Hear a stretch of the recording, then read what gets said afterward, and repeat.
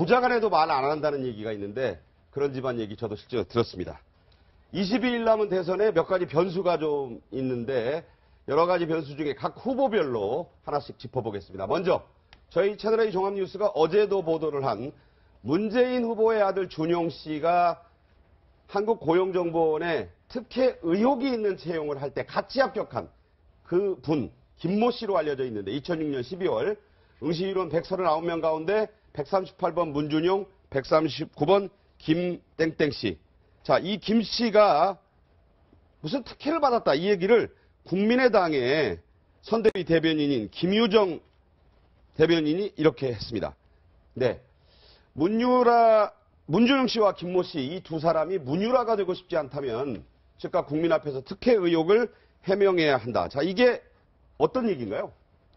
그러니까 이제 그 문재인 후보 아들이 그 고용정보원에 그 채용 공고 절차가 좀 감사원 지적에 하면 좀 짧았어요. 그게 이제 그 부적절한 면은 분명히 있었어요. 그래서 감사 지적을 받았는데 여하튼 지금 그 문재인 후보 아들에 대해서는 뭐 이, 저기 이력서에 날짜가 위조된 거 아니, 나중에 변조된 거 아니냐. 사진이 또 귀걸이까지 있어. 보통 우리가 그 이력서에 저 사진을 넣을 때 좀 단정한 모습인데 뭐 남자가 귀걸이 하는 게 뭐 단정치 않다고 하기는 어렵지만 여하튼 좀 상식하고는 좀 다르죠. 뭐 그런 면에서 뭐 필적이라든가 이런 면에서 많은 지적이 있었죠. 그래서 혹시 당시 저, 어, 그 노무현 전 대통령 굉장히 가까웠던 문재인 후보의 그, 그 뒷배경이 아들의 특혜 채용에 작용한 거 아니냐는 의혹인데 지금 이제 그 문재인 후보 아들만 가지고는 지금 저 이력서 원본도 없고 그러다 보니까 그냥 의혹 제기에 그쳤거든요. 거기에 대해서 아마 국민의당이 그러면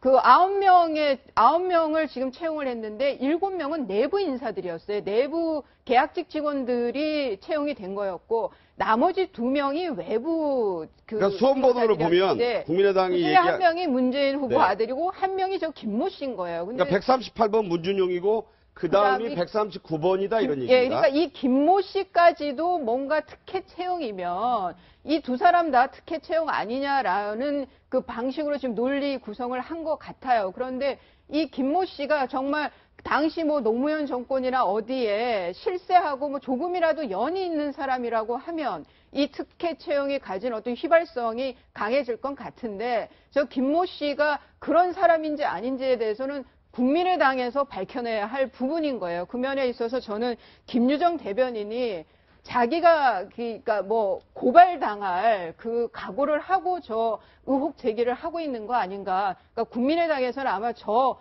특혜 채용 부분을 가장 큰 아킬레스건으로 갖고 지금 맹 공격을 하려는 자세를 보이는 것 같아요. 국민의당에서는 더 이상 내놓은 자료는 없습니다. 저기까지만 의혹 제기를 한 거거든요. 어떻게 보세요? 아무래도 뭐 국민의당 입장에서는 지금 그 문재인 후보의 아들 문준용 씨의 그 채용 비리에 대해서 여러 가지 의혹들이 지금 꼬리를 물고 일어나고 있다. 그 부분에 대해서 지금 공교롭게도 문준용 씨와 같이 그 채용됐던 김모 씨도 사실 좀 이 의혹이 있다는 거 아닙니까? 그렇기 때문에 앞서 우리 이주희 변호사 말씀하신 것처럼 이거는 뭐 그 지금 그 당사자인 김모 씨가 지금 해명을 하지 않고 연락이 안 된다는 거 아닙니까? 그렇다고 한다면 의혹을 제기한 국민의당 측에서 좀 더 이 실체를 좀 더 파악하는 어, 노력을 통해서 진상을 이 좀 이렇게 이좀 그 밝힐 수 있는 그런 단서를 내놔야 되지 않을까 생각합니다. 네, 현실적으로 진상을 밝히기는 어렵지요. 그리고 22일 안에 그 투표는 끝나고 그 이기는 자와 그 진자만 남는 부분이고 했기 때문에 어 네거티브 공세라는 부분들이 지금 22일 안에 밝혀지지 않으면 네. 선거 기간 중에서는 아무런 그 효용이 없는 거거든요. 네, 네. 그래서 어, 시청자들이나 국민들이 그 이 네가티브 공세에 대해서는 한 번 걸러서 더 들어보고 봐야 되는 측면이 있다. 20일 안에 밝혀질 일은 없다. 진상규명 안 된다는 것들을 전제하고 네가티브 공세를 봐줘야 된다는 것들을 꼭 지적하고 싶습니다. 네. 자. 안철수 후보에게는 이 부인 김미경 씨, 김미경 교수가 보좌진들에게 어, 속칭 갑질을 좀 했다. 그러니까 부담을 줬다. 이런 얘기에 에, 지금 의혹이 제기됐고 그 논란이 본인이 뭐 사과를 했지만 몇 시간 뒤에 수그러들지 않고 있어요. 자, 그 논란의 핵심. 자, 이 이메일입니다. 2015년 4월 30일 여수 전남대 여수가 이제 김미경 교수의 고향인데 전남대 강의 자료의 초고에 나오는 내용. 제가 준비한 강의 자료를 첨부합니다. 검토해 주시고 피드백 다시 이 내용을 알려주시면 감사하겠다.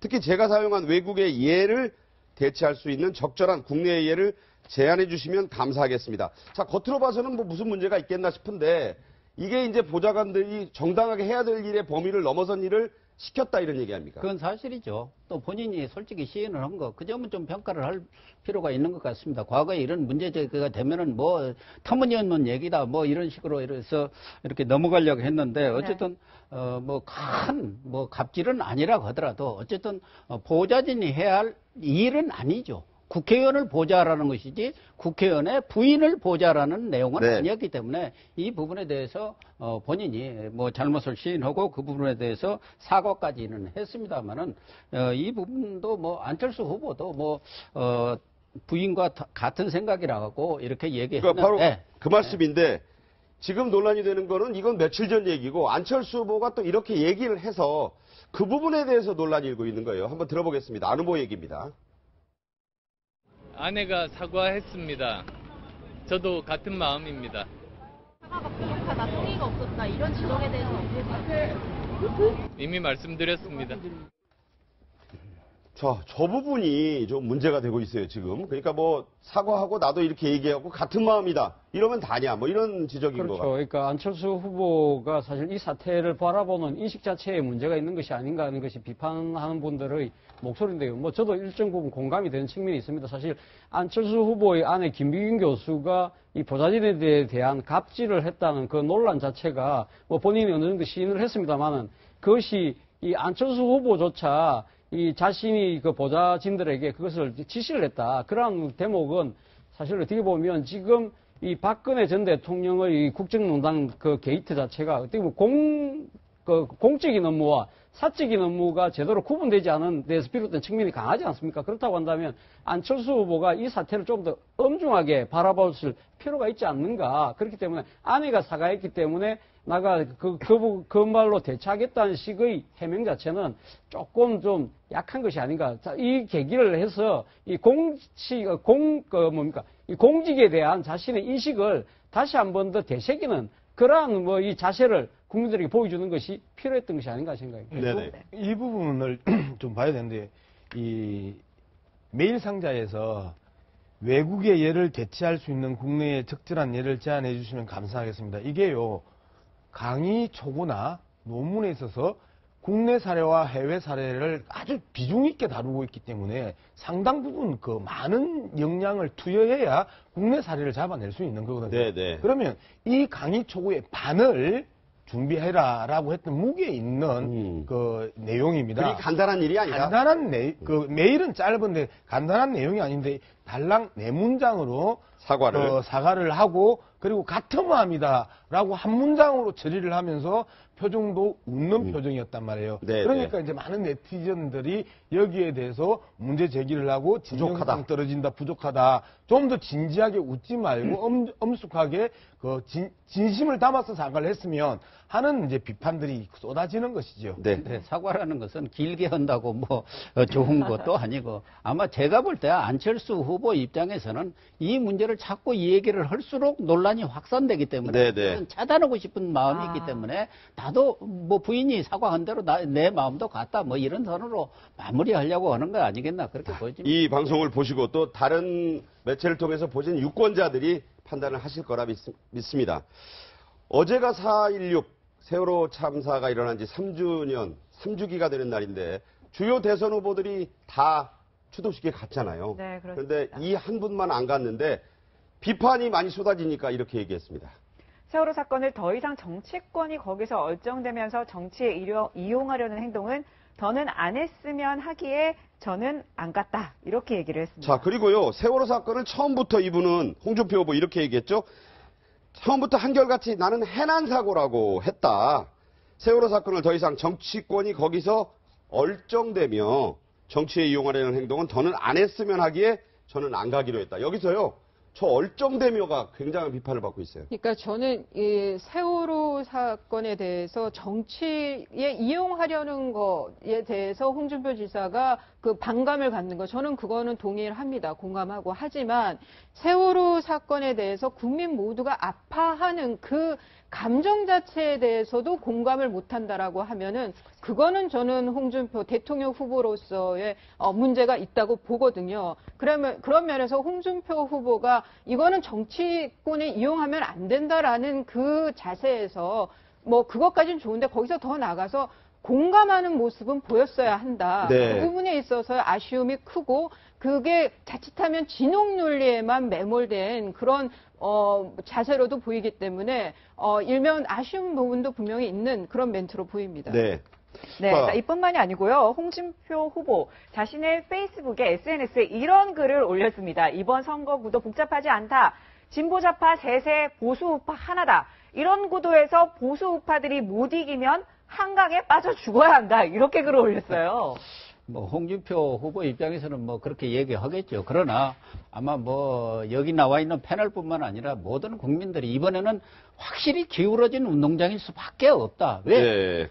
말하자면 자기들이 선출했던 대통령이 잘못해가지고 탄핵을 받고 지금 구속된 상황에서 예. 다시 우리를 뽑아. 그럼 선거를 왜 합니까? 그게 선거라는 그래서- 것은 예, 예. 기본적으로 총선이든 대선이든 그 정당 또 그 집권한 세력에 대해서 잘했는지 못했는지를 평가해서 잘했으면 계속 밀어주는 것이고 잘못했을 경우는 바꾸는 것이 선거의 기본인데 그렇죠. 러고다 없애버리고 나는 홍준표는 박근혜고 딴 사람이다. 그러니까 나를 보고 보수가 다 밀어다. 이건 전혀 선거의 기본 자체에 대한 인식이 부족한 거 아닌가 그런 생각이 듭니다. 네. 자, 홍준표 논란과 함께 이분은요, 후보 등록 직접 안철수 후보와 함께 한 두 사람 중에 하나고 정말 의욕적으로 하고 또 첫 번째 TV 토론에서 각 캠프에다 물어봤을 때 세 표나 받아서 가장 잘했는데 대뜸 물러나라는 지금 어, 일부의 요구를 받고 있습니다. 자, 어떤 얘기냐. 유승민 바른정당 후보 얘기인데 자, 오는 29일까지 지지율이 나아지지 않으면 유승민 대선 후보에게 사퇴를 건의해야 한다. 이종구 바른정당 의원이 뭐 좀 속칭 속- 총대를 메고 저런 얘기까지 했네요.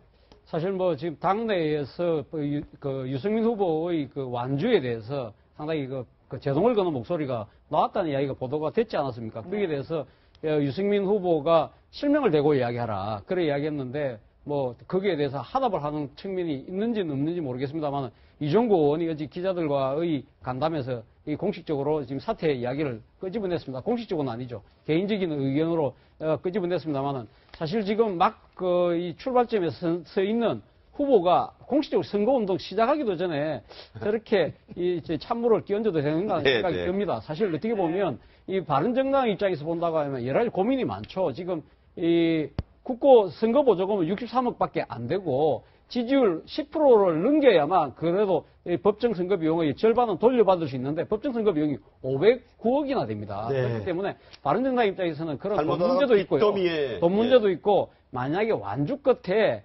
상당히 그, 이, 그, 투, 그 득표율 자체가 상당히 바닥일 경우에는 당내의, 당의 존립 기반 자체도 어- 어렵지 않느냐. 그런 여러 가지 이 그 계산들이 작용하고 있, 겠지만 제 생각에는 이종구 의원이 지금 딛고 있는 지역구 자체가 수도권이라는 겁니다. 수도권 의원들의 입장에서 본다고 한다면 대선 이후에 자신들의 정치적인 이 그 생존을 위해서라도 일종의 안철수 후보를 지, 지원해주고 나름대로 정치적 지분을 챙기자는 그러한 나름대로의 속셈도 깔려 있는 것이 아닌가 그런 측면에서 본다고 한다면 참보수의 기치를 내걸고 이 탈당일 때의 그런 초심 자체는 벌써 잃어버린 것이 아닌가 그렇다고 한다면 저는 이 유승민 후보가 지금 내세우고 있는 참보수의 기치로 완주하겠다는 그 의미를 아마 당원들이 좀 더 새겨야 될 필요가 있지 않을까 생각합니다. 자, 유승민 후보. 자, 이런 얘기 주말부터 계속 나오고 또 기자들도 계속 물어보니까 정상이 아니다.